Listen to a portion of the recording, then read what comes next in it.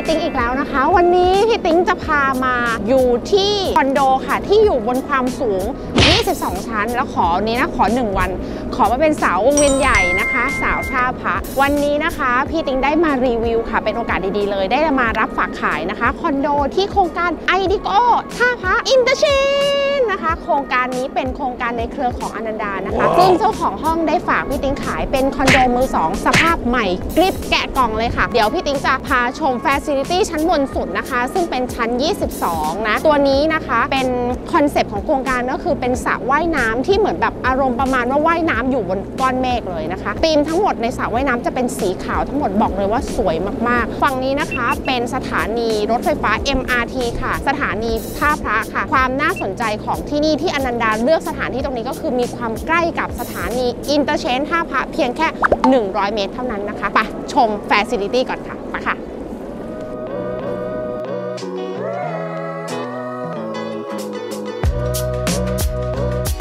นอกจากพื้นที่ที่มีสระว่ายน้ำสวยๆ ขาวๆ บนท้องฟ้าขนาดนี้นะคะ ยังออกแบบให้มีสะพานเชื่อมค่ะ อารมณ์ถ้าพันพี่นะพี่หมือความรู้สึกเหมือนเป็นสกายวอล์กเลยค่ะ เดินเชื่อมไปในส่วนของที่เป็นสวนสาธารณะพื้นที่สีเขียวรอยฟ้าไปดูกัน ว่ามันจะมีความสดชื่นอ้อลืมบอกไปค่ะ มันจะมีส่วนหนึ่งสำหรับคนที่อยากจะ drive golf นะคะ มีพื้นที่เล็กๆ ไว้ให้ฝึกวงสวิงกันด้วยค่ะ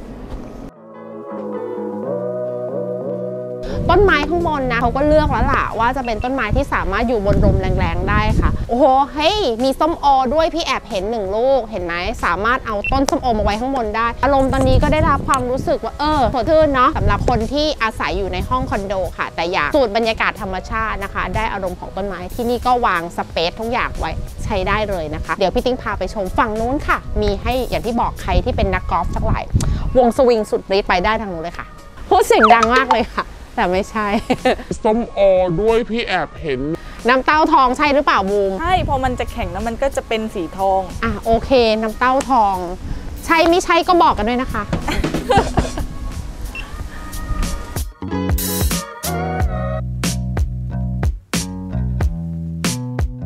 พี่ติ้งแล้วตรงนั้นวัดอะไรอะคะ เรื่องอ๋วัดเนี่ยต้องอถามพี่จะบอกว่าเจ้าของบ้านนะคุณป้าบอกว่าคือวัดภาษีเจริญหลวงพ่อสดอ๋อที่ดังอ่าประมาณแบบหันหน้าแบบเฉียงเฉียงๆนิดๆคือหน้าเห็นปะท่านนุ่งสบงๆอืมนั่นแหละ หลวงพ่อสดค่ะ วัดภาษีเจริญ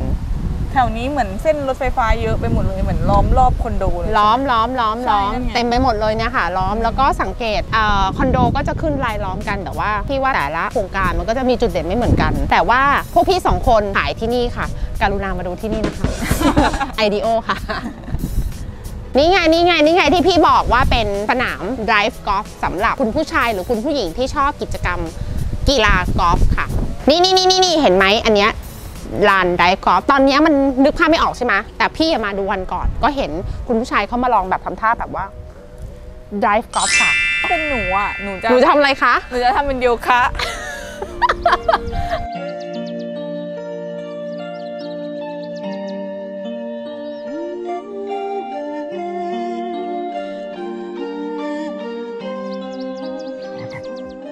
อ๋อพี่ลืมบอกไปชั้นก่อนจะถึงในส่วนของสระว่ายน้ำแล้วก็สวนสาธารณะนะคะชั้น21ใช่ไหมอะชั้น 21 นะคะ ก็จะเป็นส่วนที่มีตัว co-working space ค่ะ ให้ลูกบ้านได้ทำงานได้นะคะ มีห้องสมุดมีเกมรูมค่ะ แล้วก็มีห้องฟิตเนสค่ะ แล้วก็มีห้องโยคะออกกำลังกายได้ด้วยนะคะ พื้นที่ต่างๆเนี่ยถูกจัดแบ่งไว้เป็นโซนให้ลูกบ้านใช้งานได้เต็มที่สำหรับคนเมืองค่ะ ที่อาศัยอยู่ในคอนโดมิเนียมรูค่ะ แหมพอมาถึงชั้นศกเดี๋ยวพาแวบไปดูสวนสาธารณะเล็กๆค่ะ ของชั้น 6 ไปดูกัน นี่แหละอย่างที่พี่บอกมันเป็นเหตุผลเดียวเลยนะคะ ที่คุณป้าได้ซื้อห้องชั้น 6 ไว้ เพราะว่าหลังจากที่แบบเหมือนอยู่ในห้องแล้วก็สามารถเดินมารีแลกไม่ต้องไปขึ้นลิฟต์ลงลิฟต์ให้มันเวียนหัวนะคะ ก็สะดวกสบายนะคะสำหรับการพักผ่อนมานั่งทำงานก็ได้นะพี่ว่าพาลูกๆมาเดินเล่นก็ได้ค่ะ ส่วนก็จะมีสองฝั่งนะคะ ก็จะมีฝั่งเมื่อกี้ที่พี่ติ้งได้เดินไป แล้วก็มีฝั่งที่บูมนั่งอยู่ตอนนี้ค่ะ พี่ว่าสวยก็ฝั่งนู้นนะสวยกว่า แล้วต้นไม้ไม่ได้เยอะกว่า ต้นไม้ก็จะเป็นต้นไม้เตี้ยถ้าเป็นพี่พี่มานั่งพักผ่อนที่มาฝั่งนี้ แต่ก็อย่างที่บอกแหละ ก็ถ้าซื้อชั้นนี้แล้วก็ซื้อห้องพี่ด้วยนะคะ ก็จะได้ส่วนทั้งสองฝั่งค่ะจ้าเอ๋มาแล้วค่ะ โหห้องเป็นไง แบบใหม่จริงๆอะดิจิตอลดอล็อกค่ะ เห็นไหมอ่า ห้องนี้เลขที่ 131 ทับ 50 ค่ะ ชั้น 6 นะคะ ห้องเป็นขนาด one bedroom ค่ะนะคะ มีขนาดอยู่ที่ 27.5 ตารางเมตรค่ะ เป็น Type A ของโครงการนะคะ เป็นไงน้องบูม หนูรู้สึกว่า พี่ติ๊งบอกแล้วว่าห้องใหม่แกะกล่อง แกะไหม ยังไม่แกะค่ะ ห้องยังไม่แกะเลยก็คือเห็นไหมแบบพลาสติกยัง seal อยู่เลยนะคะ ห้องนี้ขายพร้อมเฟอร์นิเจอร์ทั้งหมดที่เห็นอยู่ในห้องนะคะ built-in ทั้งหมดเลยก็คือให้หมดเลยให้หมดเลยให้หมดเลยนะคะ ห้องนี้เป็นห้องที่แบบแบ่ง space เอาไว้สำหรับแบบเป็นห้องรีวิวรูมเปิดประตูเข้ามาปุ๊บก็จะเจอโซฟาคุณป้าเจ้าของห้องบอกว่าป้าไม่เคยมานอนเลยลูก คุณป้าบอกว่าจริง ๆ แล้วการซื้อคอนโดเนี้ยนะคะ เพื่อ คิดว่าจะเกรงกำไรค่ะ แต่ตอนนี้ไม่มีคำว่าเกรงค่ะ อันนี้มีแต่คำว่าขาดทุนค่ะห้องนี้ขายขาดทุนจริงๆนะคะ เดี๋ยวมาเฉลยตอนหลังว่าราคาขายขาดทุนอะมันเป็นเท่าไหร่ใช่ไหมที่แอบรู้สึกว่าที่เนี่ยมันแบ่งสเปซห้องรับแขกอืมห้องห้องรับแขกอาจจะแบบเขาอาจจะให้ความสำคัญในส่วนของห้องนอนมากกว่านะคะ ส่วน living room ก็คือเออแค่แบบพักผ่อนพอรีดีแลกซ์พอดีเออแต่ว่า built in นะคะ built in ในส่วนของ ชั้นวางทีวีชั้นใส่ของโชว์อะพี่ว่าแอบเยอะนะอืมเยอะคือให้เต็มบางโครงการก็จะมี partition เล็กๆ เอาไว้ใช่แค่วางทีวีเนาะค่ะอันนี้คือ built เต็มหน้าเลยค่ะสูงถึงเพดานเลย เราไปดูห้องนอนกันดีกว่าพี่ติ๊งไปเดี๋ยวพี่จะไปยืนให้ดูกันว่า มันมีพื้นที่ในการนอนกันยังไงอ่านี่ไงเธอแบ่งโซนชัดเจนเนี่ย one bedroom เนี่ยก็เป็นแบบนี้ กั้นกระจกเรียบร้อยด้วยกระจกแบบกระจกแบบใหญ่อะใช่ตอนนี้เราก็อยู่ในห้องนอนแล้วนะคะ ก็พื้นที่เตียงไซส์นี้น่าจะเป็นหกให้ห้าฟุตอ่าห้าฟุตเตียงไซส์ขนาดใช่5ฟุตเป็นไงน้องบูมพื้นที่ก็ได้อยู่นะคะ รู้สึกว่าเล่นวิวขาได้ แล้วก็หลังจากที่ตื่นนอนเสร็จนะคะ ก็มาปลายเตียงก็ยังมีพื้นที่นะ พี่ว่าน่าจะเป็นเป็นเมตรอยู่นะอืมเนี่ยที่จะแบบมาแบบว่าเปิดตู้อะไรอย่างเงี้ย แล้วตู้เสื้อผ้านะคะของที่นี่ก็คือให้เหมาะสำหรับ 2 คน เพราะโครงการที่พี่ไปรับฝากขายอีกที่หนึ่งคือ เหมือนจะต้องอยู่คนเดียวคือตู้แค่นี้เองนะคะ แต่ที่นี่อะใหญ่มีเหมือนเป็น 2 ตู้สองแล้วก็ห้องเลยบิวขึ้นไปถึงข้างบนเลยนะคะ ก็อย่างที่บอกแหละว่ามันเหมาะสำหรับคนที่อยู่กัน 2 คน หรือเป็นคนที่สาวโสดหนุ่มโสดที่มีเสื้อผ้าเครื่องแต่งกายเยอะๆแน่น ๆ ต้องถูกใจแน่ๆเลยของคนกลุ่มนี้ค่ะ จริง ๆ ก็วันเนี้ยลืมเอาพ็อป โน้ตบุ๊กมานะ แต่ว่าพี่ว่านิดนึงอะ มันก็อาจจะแบบเล็กไปนิดนึงสำหรับความรู้สึกพี่นะของโต๊ะทำงาน แต่ว่าจริงๆแล้วเขาออกแบบเอาไว้สำหรับไม่ได้ทำงานจริงจังค่ะ เอาไว้แบบนิดนึงแล้วก็แต่ถ้าส่วนมากในการที่จะ work from home อะไรเงี้ยอาจจะไปใช้พื้นที่ในส่วนของ co-working space ชั้นบนสุดดาดฟ้า พี่ว่าน่าจะดีกว่าค่ะบูมเธอว่าโต๊ะกระจกเพียงพอสำหรับเครื่องสำอางเธอไหมหนูว่าได้นะคะคือก็คือพอดี กระจกก็คือแบบเป็นบานยาว สามารถเห็นได้ทั้งตัวเลยนะ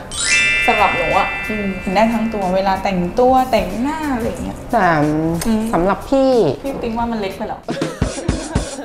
ของของพี่สมบัติเจ๊เยอะไปนิดนึงแต่ถ้าน้องๆรุ่นเนี้ยพี่ว่าเพิ่งเป็นการเริ่มต้นของการซื้อเครื่องสำอางเพียงพอค่ะห้องน้ำนะคะ แอบดูรายละเอียดนะคะ อ่างล้างหน้านะคะ ที่นี่จะใช้ American Standard นะคะ ส่วนสุขเอ่อชักโครกนะคะ สุขภัณฑ์จะเป็นของ COTTO ซึ่งเป็นรุ่น eco ประหยัดน้ำค่ะ จริงๆแล้วดีไซน์ของที่เนี่ยนะคะ ก็ก็ได้นะแบ่งโซนเปียกแห้ง กระจงกระจกแบบเรียบร้อยนะคะ น้ำไม่กระเด็นที่ว่าธีมทั้งหมดที่ให้สีก็จะเป็นสีเทาก็โดยรวมก็โอเคนะ ไม่ได้เล็กไปแล้วก็ไม่ได้ใหญ่ไป เพียงพอสำหรับการอยู่อาศัย 1-2 คนค่ะ อีกหนึ่งที่พี่ว่าน่าสนใจนะ ก็คือในเรื่องของการออกแบบสเปซของห้องครัว โดยปกติแล้วอะถ้าเป็นคอนโด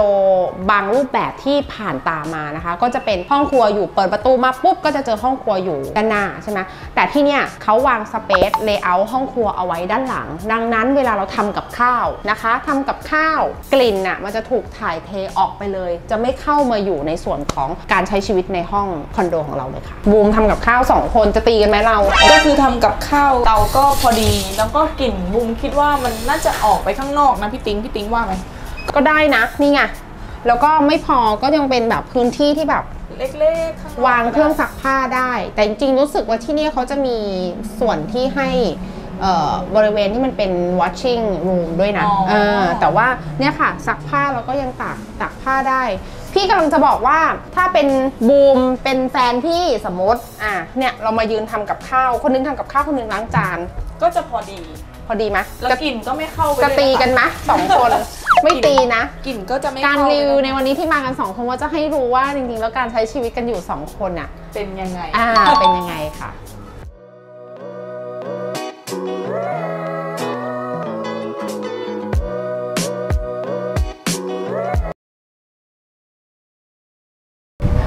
บูมพี่ให้ทายว่าห้องเนี้ยราคาเท่าไหร่ หนูว่าจากที่หนูเข้าไปดูอะแล้วก็เช็คที่ก่อนจะมา ใช้ Google ใช่ไหมใช่ก็อยู่ที่ 2627อะประมาณ 27อะฉันจะบอกว่าราคานั้นอะมันเป็นราคาที่เขาซื้อจากโครงการ คือราคาที่เจ้าของห้องซื้อกันอยู่ที่ราคา 2.69 ล้านมอันนี้เป็นราคาแบบตอน presale เลยนะอ่าแล้วแล้วถ้าห้องเนี้ยบูมคิดว่าคุณป้าเจ้าของห้องเนี่ย จะขายราคาเท่าไหร่ หนูว่าเกณฑ์น่าจะขายแล้วก็สองเจ็ดห้าไม่ก็สองแปดอะอะ ประมาณว่าอยากจะมีกำไร อีกใช่สักนิดนึงจากการลงทุนใช่ไหมใช่ เพราะว่ามันอยู่ interchange ไงอ่าพี่ว่าคนที่เนี่ยส่วนมากที่แบบมีสตังค์อะค่ะ แล้วก็ซื้อเก็บอืมซื้อเงินสดอะคิดอย่างนั้นกันหมดเลยก็คือว่ากะว่ามันอยู่ใกล้รถไฟฟ้าใช่ไหมใช่ แล้วก็ราคามันต้องขึ้นแน่เลย แต่ตอนนี้ยังไงยังไงไม่ใช่แล้ว ตอนนี้ไม่ใช่แล้วพี่บอกแล้วว่าถ้าราคาไม่ดีไม่ถูกไม่โดนพี่ติ๊งไม่ ขายใช่ไม่รับเลย เจไม่รับขายบอกแล้วนะคะอะงั้นฉันยอมเฉลย ห้องเนี้ยคุณป้าเจ้าของห้องขายเพียงแค่2ล้าน3แสน5หมื่นบาทเท่านั้นค่ะ บอกแล้วว่าท้าให้เช็ค Google เช็คเลยค่ะ IDO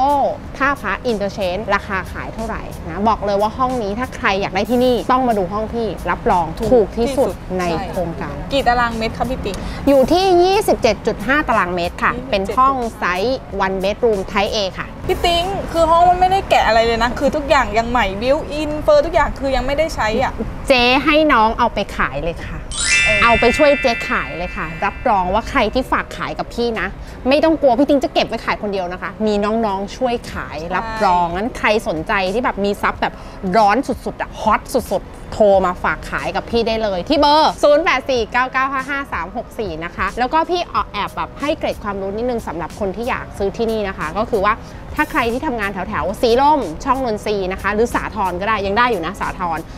งบจริงๆอะถ้าไปซื้อแถวนั้นนะพี่บอกเลยว่าราคามันแอบสูงมากนะคะ ประมาณ 5 ล้าน 6 ล้านบวกบวกๆซึ่งมันแบบอาจจะสูงไปนิดนึง ดังนั้นคนที่ทำงานในเมืองแถวนั้นนะคะ ก็จะมาซื้อห้องบริเวณแถวๆนี้ค่ะ ก็คือเส้นท่าพระ เพราะว่าอยู่ใกล้ๆแนวรถไฟฟ้านะคะ ซื้อได้ในราคางบประมาณ 2 ล้านต้นๆ แต่จริงๆอะถ้าเราขับรถกันไปเราจะเริ่มเห็นละว่าติดป้ายกันอยู่ประมาณ2ล้าน7นะคะ รับรองค่ะว่าห้องนี้ถูกราคาสบายกระเป๋า บอกแล้วว่าถ้า